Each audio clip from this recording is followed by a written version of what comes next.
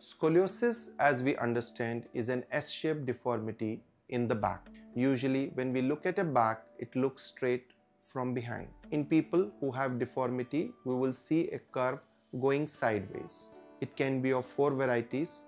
It can be congenital, which is seen in children at birth and usually associated with some birth defect like segmentation, formation.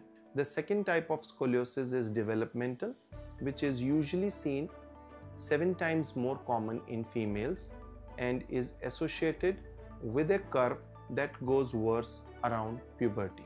The third type of scoliosis is neuromuscular where the children are either suffering from cerebral palsy, spinal muscular atrophy, polio or other neurological disorders. The fourth variety is the degenerative type seen commonly in the elderly people. The common signs to identify a scoliosis would be a shoulder imbalance or a truncal imbalance, leaning of body to one side, or in children with birth defects, a discoloration spot on the back or a nevus or a tuft of hair. Coming to the methodology of treatment of scoliosis, in most of the congenital scoliosis, whereby there is a formation or segmentation defect, it is advisable to operate these children early at the age of 4 or 5 years.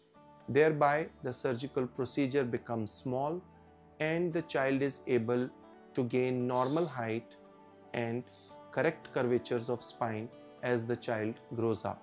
In developmental varieties, which is more often called idiopathic, the children, usually females, require a surgical correction if the curve is more than 40 degrees. These children has to be watched very carefully and usually around puberty when the curve tends to go haywire. The third variety which is neuromuscular variety, patient is having spinal imbalance because of muscular atrophy due to neurogenic disorders. Hereby the child would require a surgical procedure to correct the entire spinal balance. The last variety, which is the degenerative scoliosis, is seen in elderly, whereby the degeneration of discs and facet joints leads to a asymmetric curvature in the lower back.